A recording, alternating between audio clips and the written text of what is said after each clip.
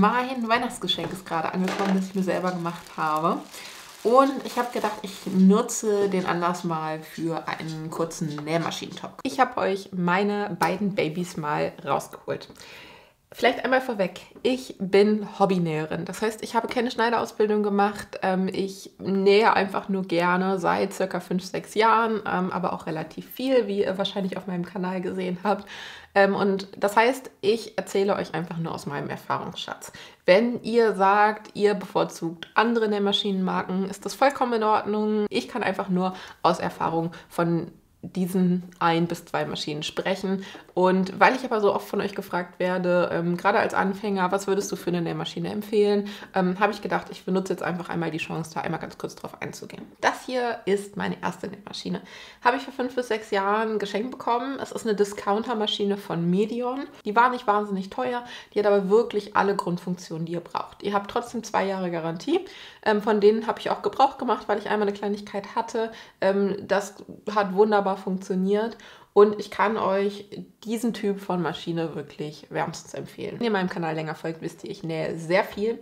Ähm, das heißt, die Maschine hat einiges mitgemacht. Die Maschine hat Jeans genäht, sie hat Leder genäht. Ähm, klar hat sie irgendwo ihre Grenzen, aber ich würde wirklich sagen, so als Anfänger reicht das vollkommen aus. Um, ihr kommt super damit klar und verkünstelt euch da nicht in, ihr braucht 58.000 äh, verschiedene Stiche oder so. Das ist überhaupt nicht notwendig und ich bin auch nach wie vor Fan dieser mechanischen Maschinen und nicht welche, die computergesteuert sind, weil ich einfach die Anzahl der Stiche überhaupt nicht brauche.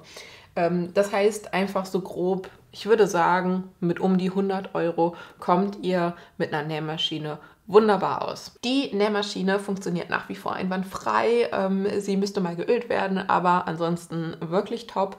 Ähm, ich habe mir aber vorgenommen für 2023, ähm, dass ich mir eine neue Nähmaschine kaufen möchte. Einfach nach so vielen Jahren möchte ich gerne ein bisschen mehr Funktion, ein bisschen mehr Leistung haben. Die Nähmaschine kommt natürlich aber nicht einfach so weg, sondern eine Freundin wird mit ihr weiternähen. So, jetzt kommen wir zum neuen Schatz. Ich habe mich nämlich mal ein bisschen informiert, ein bisschen schlau gelesen. Ich sag ja, Nähmaschinen sind grundlegend alle relativ ähnlich. Ähm, der eine schwört auf die Marke, der nächste auf die. Also ich glaube, man muss da einfach seine eigene Erfahrung sammeln. Ähm, und ich habe mich jetzt final für die Singer Heavy Duty entschieden, weil ich einfach dazu neige, viel ähm, dicke Stoffe zu nähen, also viel Jeans, viel, ich meine, ihr erinnert euch wahrscheinlich an die Croissant Bag, also mit zwei, drei Lagen Leder aufeinander. Und deswegen wollte ich gerne einfach eine Nähmaschine haben, die ein bisschen mehr dafür ausgelegt ist. Ich habe sie ja gerade erst ausgepackt, das heißt, ähm, noch habe ich sie nicht ausgiebig getestet. Ähm, sie soll einen sehr leistungsstarken Motor haben, der sehr leise ist. Und was parallel noch wichtig ist, ähm, durch diese dicken Sachen, ähm, der Abstand von dem Nähfüßchen und unten zum, zum Aufliegetisch ist ein bisschen größer als bei anderen Nähmaschinen, sodass man einfach mehr dazwischen bekommt. Ja, ich freue mich sehr über das neue Spielzeug. Ich werde sie mal auf Herz und Nieren testen ähm, und mal auch mit dicken Lagen und so weiter rumprobieren.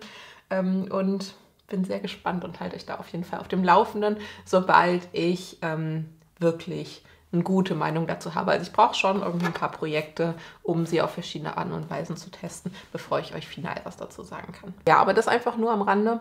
Für alle Nähmaschinen-Fans oder Leute, die gerne von euch anfangen wollen zu nähen. Ähm, ich habe schon so oft die Frage bekommen, kannst du eine Maschine empfehlen? Die Medion gibt es wahrscheinlich einfach nicht mehr denke ich. Denke, dass es da nach sechs Jahren etliche Nachfolgermodelle gibt. Aber ähm, das vielleicht so einmal als grundlegende Einordnung. Okay.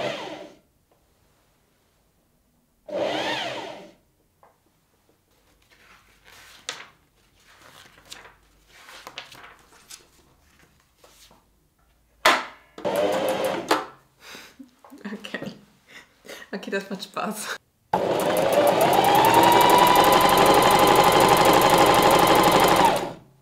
Ah, ich habe jetzt richtig Lust auf Nähprojekte. Ähm, und vielleicht ist es utopisch, aber ich habe das Gefühl, dass ich die alle in der doppelten Zeit nähen kann. Äh, in, der, in der halben Zeit. Ja, aber wie gesagt, ich ähm, gebe euch einfach nochmal ein Feedback, wenn die Maschine so ein paar Projekte hinter sich hat.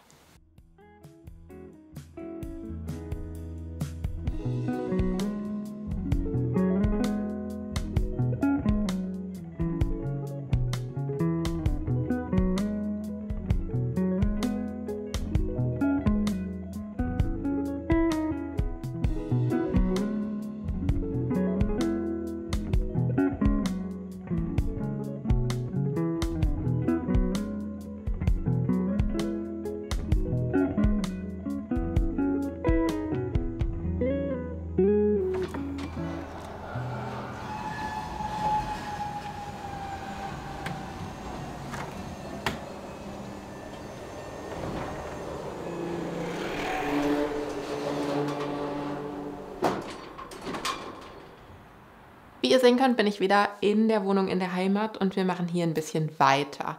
Ähm, ich weiß übrigens nicht, ich sage immer Heimatwohnung, weil es sich für mich einfach total natürlich anfühlt. Ich weiß aber, dass die meisten Leute über dieses Wort Heimat total stolpern. Für mich ist es halt einfach der Begriff für hier bin ich aufgewachsen, um es ganz klar von Hamburg abzugrenzen. Irgendwer hat auch schon mal gesagt, das ist meine kleine Ferienwohnung. Ich finde das allerdings ein bisschen zu extra, zu special. Ähm, es, fühlt, es hört sich sofort an wie so ein Haus am Meer oder so, was es ja nicht ist.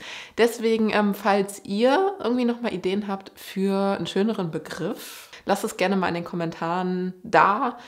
Ansonsten heißt sie einfach weiter Heimatwohnung. Und wir haben ja zusammen in den letzten Monaten diesen Raum hier, dieses Wohnzimmer komplett auf links gekehrt. Also vom Boden über Secondhand-Möbel, Secondhand-Teppichboden, Secondhand-Details, DIY-Sachen wie zum Beispiel die Lampe oder ich habe jetzt das Kissen nochmal ähm, aus so Stoffresten in der letzten Woche genäht. Ähm, und das Ganze fühlt sich mittlerweile äh, relativ fertig an. Ähm, ich möchte gerne nochmal, äh, große Überraschung, ich möchte tatsächlich nochmal alle Wände streichen. Ich habe das Gefühl, mm, es fehlt dem Ganzen noch ein bisschen Textur und es ist alles, also ich mag, dass es so super hell ist. Ähm, das finde ich für diesen Raum sehr, sehr schön. Es macht auch einfach jetzt gerade auch in den Wintermonaten, es macht sofort was aus, wenn man in so einen Raum reingeht, der sehr hell ist. Das finde ich sehr schön. Ähm, trotzdem habe ich das Gefühl, es ist gerade noch sehr kalt, weiß in weiß. Ähm, das hat natürlich auch damit zu tun, dass zum Beispiel das Sofa, was ich ja einfach von meinem Bruder übernommen habe, schwarz ist und dass wir sehr viel schwarz-weiß haben. Ich habe jetzt über die Deko-Gegenstände irgendwie, wie zum Beispiel hier die Schale oder das Kissen, einfach nochmal versucht, ein bisschen Creme und Braun reinzubringen.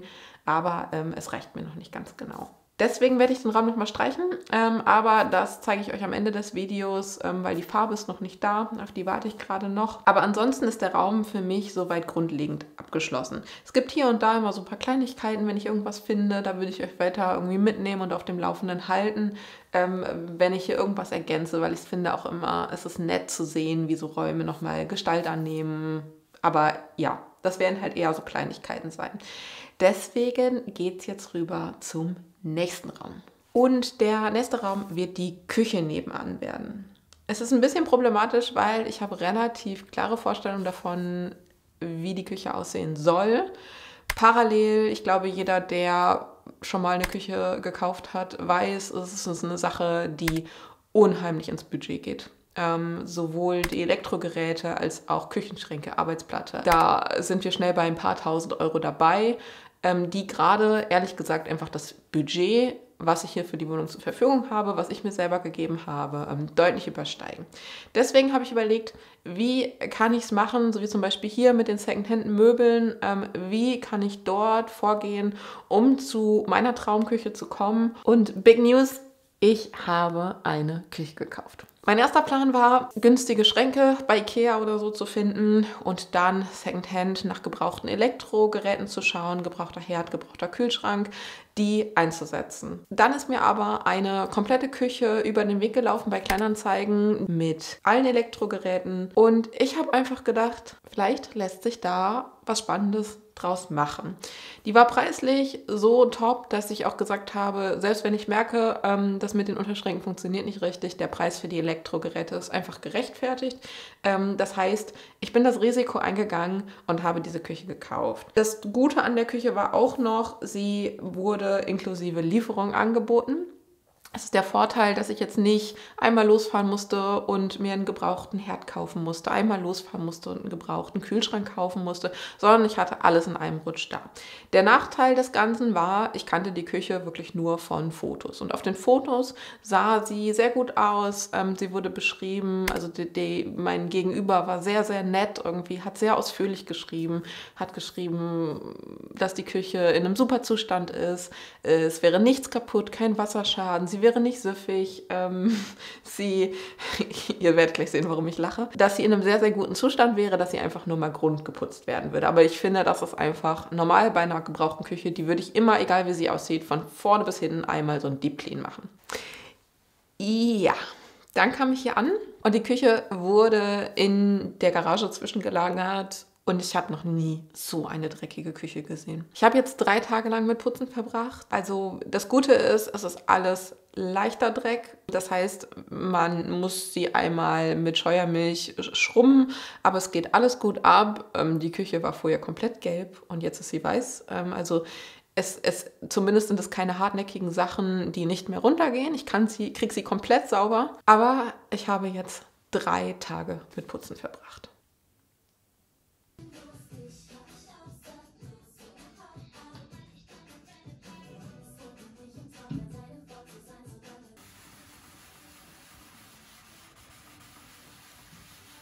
Vorher, nachher. So krass. Und noch ein letztes schönes Vorher, nachher ob die Entscheidung eine gute war, Secondhand eine Küche zu kaufen oder diese Küche zu kaufen, weiß ich zum jetzigen Zeitpunkt ehrlicherweise noch nicht. Aber noch bin ich ganz guter Dinge, dass wir jetzt aus der Küche, so wie sie jetzt steht, ähm, eine schöne neue Küche rausbekommen mit neuen Fronten und neue Arbeitsplatte ist eh geplant. Ähm, aber ich zeige sie euch einfach mal darf ich vorstellen, das ist meine neue Küche. Und ich habe mir noch parallel ein neues Mikrofon gekauft, weil das alte war immer an der Kamera angebracht und mich hat es einfach genervt, wenn ich für euch aufgenommen habe, dass ich immer ganz nah an der Kamera sein musste, damit der Ton gut ist und es nicht halt. Und jetzt ist es halt einfach so, ähm, dass ich durch die Gegend laufen kann, egal ob ich weit oder nah stehe. Ihr könnt mich gut verstehen und es halt nicht. Das finde ich wichtig. Okay, vielleicht einmal vorab zur Aufteilung. Ähm, sie steht noch nicht ganz final. Ich habe sie nur grundsätzlich so hingepuzzelt, wie ich das hinterher haben möchte. Ähm, hier in der Ecke wird ein ähm, normaler Schrank sein. Das hier ist aktuell ein Doppelschrank, den werde ich noch halbieren, weil sonst ging sich das einfach nicht aus. Ihr müsst euch vorstellen, ich habe ja eine gewisse Breite des Raumes, ähm, die einfach gegeben ist und ich habe Schränke, die gegeben sind. Ähm, das heißt, es ist so ein bisschen so eine Puzzlei, wie kriegt man jetzt die gesamte Reihe voll. Ähm, und das heißt, dieser Schrank wird halbiert und gerade weil hier diese Dachschräge so ist, ähm, werden natürlich jetzt hier am Ende einfach Dinge drin sein, die man nicht so oft braucht. Dann kommt ein schmaler Schrank, der wird quasi hier angebracht, ähm, einfach um auch hier wieder die Weiten auszugleichen. Und dann wird eine Waschmaschine kommen. Und dann, ich habe hab immer so Probleme mit den Worten Wasch- und Spülmaschine. Geht es irgendjemandem genauso? Ich weiß nicht, ich hau das immer durcheinander, obwohl es ganz klar ist, was was ist. Ähm, hier kommt eine Spülmaschine hin. Dann haben wir hier die Spüle und hier ein Herd. Ja, und eigentlich wollte ich eine Küche haben, die einfach nur ganz am Ende von links nach rechts geht. Eine gerade Front bildet, ganz clean, ganz schlicht. Ich habe aber einfach das Problem, ich habe dann zu wenig Unterschränke. Also ich muss quasi die Ecke mitnehmen, weil sonst bleibt noch der eine Unterschrank über, der schmale und dann einen noch in der Ecke. Aber ihr wisst es selber mit zweieinhalb Unterschränken, ähm, da kommt man einfach in der Küche nicht aus. Das heißt, ähm, ich werde jetzt doch um die Ecke rumgehen. Das heißt, da habe ich jetzt einen Eckschrank reingesetzt. Der hat auch unten so ein schönes Rondell drin. Das habt ihr eben gesehen, was ich sauber gemacht habe, ähm, sodass man da Töpfe und so gut reinbringen kann. Und dann fehlt mir quasi noch am Ende ein Schrank ähm, für den Kühlschrank. Ähm, die ursprüngliche Küche kam ja mit so einem Hochschrank mit Gefrierkombi und Kühlschrank oben. Und ich möchte aber einfach nicht diesen Riesenturm hier vorsetzen, der total das Licht schluckt. Plus die Eingangstür ist direkt daneben, also die Tür zum Raum. Das heißt, wenn man die Tür aufmacht, läuft man quasi gegen so einen riesen Hochschrank von der Seite. Das finde ich einfach nicht schön. Deshalb ähm, hätte ich gerne einfach nur einen kleinen Kühlschrank mit einem Gefrierfach. So habe ich das in Hamburg auch und das reicht mir ehrlicherweise auch. Und ich hatte die Vorstellung, dass, ich drehe euch mal, So, und ich hatte die Vorstellung, dass man einfach hier noch einen weiteren Schrank hinsetzen kann äh, und dann der Kühlschrank unten reinkommt, weil so würde ich es einfach am schönsten finden. Eine sehr offene Küche, ähm, die bewusst keine Oberschränke hat, gerade weil diese Dachschräge hier so sehr auf die Küche von oben drückt. Also gerade stehen kann ich bis, bis hier und dann wird es schwierig.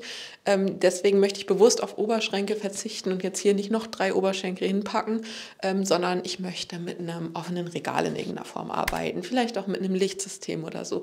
Irgendwas, was es nach oben leicht macht. Wie bin ich dahin jetzt abgebogen? Weiß ich auch nicht genau. Auf jeden Fall möchte ich am liebsten einfach nur einen Kühlschrank haben, der hier unten reingeht, sodass man hier auch einfach noch die gesamte Seite hat, ähm, um sie als Arbeitsfläche zu nutzen. Das wird leider nichts, weil ich gemerkt habe, so Standard-Einbaukühlschränke sind, die kleinen sind 88 cm hoch und meine Küche bräuchte so 71 cm maximal. Das heißt, ich komme einfach mit der Höhe der Arbeitsplatte nicht aus, um da einen Kühlschrank drunter zu stellen. Das heißt, ich bin mir noch nicht ganz sicher, aber ich glaube oder tendiere gerade dazu, dass ich hier einen höheren Kühlschrank hinsetze, der wahrscheinlich diese Höhe, also 88 cm, würde sich hier irgendwo abspielen, ähm, sodass man einfach ja so eine Stufe in der Arbeitsplatte hat. Aber vielleicht auch nicht schlecht, weil es, es wäre so diese Kompromisskombi aus, ähm, man läuft nicht gegen so eine Wand von Hochschrank. Ähm, parallel hat man aber auch noch diese Fläche hier, um sie als Abstellfläche zu nutzen. Also ich möchte gar nicht höher gehen. Ich möchte gerne einen Obstkorb, irgendwie einen Toaster oder was auch immer hier vielleicht ganz gerne unterbringen können. Ja, vielleicht noch mal ganz kurz abschließend ähm, zu dem Plan für Fronten und so. Der Teppichboden kommt logischerweise raus ähm, und es wird ein anderer Boden davor kommen. Ich habe ihn jetzt gerade erstmal nur drin gelassen, weil es zum Putzen einfach angenehmer war, wenn man nicht die ganze Zeit auf dem Estrich kniet, ähm, sondern einfach einfach einen, auch einen saugfähigen Untergrund hat. Der Teppich ist eh durch, der wird wegkommen.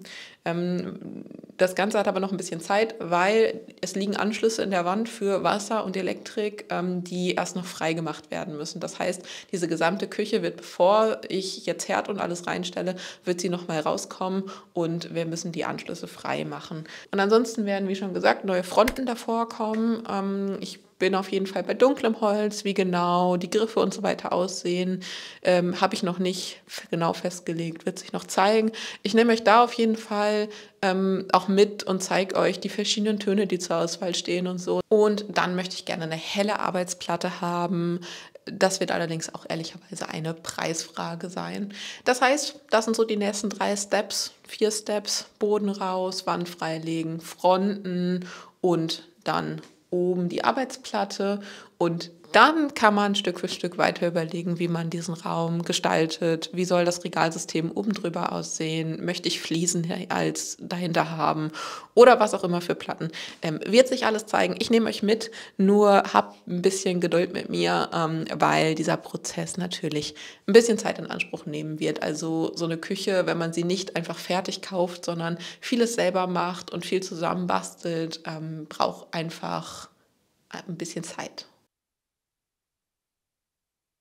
Die Farbe ist angekommen. Sorry, dass das heute so ein bisschen chatty mehr ist, ein bisschen mehr reden, aber es hat für mich jetzt einfach keinen Sinn gemacht, euch jetzt durch drei Tage putzen zu führen. Aber gleich wird wieder gearbeitet. Ich habe in einem der letzten Videos dieses Stück Wand hinter mir gestrichen und ich fand die Farbe einfach so schön. Das ist Lehmfarbe von Nendo, ist ein Hamburger Label ähm, und die Farbe wurde einfach mit so einem Quast aufge im, im Kreuzgang aufgemalt ähm, und dadurch habt ihr so diese leichten Unebenheiten, die so ein bisschen in die Richtung ähm, so von so venezianischem Putz oder so gehen. Aber ganz dezent, trotzdem habt ihr eine schlichte Wandfläche. Ja, wie schon am Anfang gesagt, ich mag dieses Weiß auf Weiß super gerne. Ich könnte mir aber vorstellen, dass das eine minimale Abtönung gebrauchen könnte. Plus ähm, in meiner Vorstellung würde es dem Raum sehr gut tun, wenn wir hier einfach ein bisschen Textur noch an die Wand bringen würden. Deswegen habe ich jetzt hier mir nochmal irgendwie ein paar Muster organisiert. Und die hellen Töne, die für mich in Frage kommen, ähm, sind Rose Silk. Das ist der Farbton, den ich da hinten schon gestrichen habe. Natural Linen und Pale Clay. Und ich muss ganz ehrlich sagen, ich liebe Natural Linen. Ich habe aber einfach Bedenken, dass der Farbton hier zu dunkel wird. Ich möchte diesen Raum so super hell und super leicht lassen. Und Natural Linen ist so ein Ton, den ich mir im Schlafzimmer zum Beispiel super vorstellen könnte.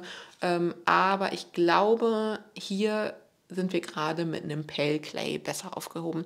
Deswegen habe ich für Pale Clay entschieden. Ähm, es ist ein Ton, der auf der Farbkarte ähm, schon sehr, sehr weiß aussieht. Also ähm, da gibt es kaum einen Unterschied, wobei auf der Kamera kommt es sogar noch besser. Für mich in echt sieht der Ton fast genauso aus wie der von dem Papier. Ähm, ihr könnt aber genau sehen, es ist einfach ein gedeckter Ton. Und mir wurde auch gesagt, dass dieser Ton ähm, auf der gesamten Fläche noch wärmer und gelblicher kommt oder also gelblich klingt so negativ, aber schöner, wärmer kommt, als er jetzt hier auf dieser kleinen Farbkarte kommt. Ich bin so gespannt, wie es hinterher aussehen wird.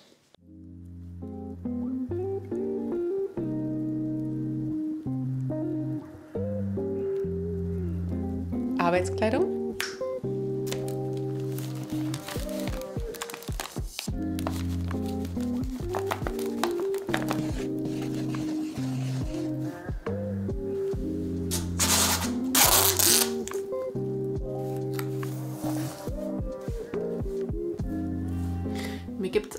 ein bisschen zu denken, wie nah die beiden Farben aneinander sind, wo der Unterschied doch eigentlich extrem sein sollte, aber ähm, ich denke, das trocknet sich alles noch weg. Die Farbe ist auch deutlich heller. Die Farbe, so. Die Farbe ist auch deutlich heller geworden, als sie getrocknet ist.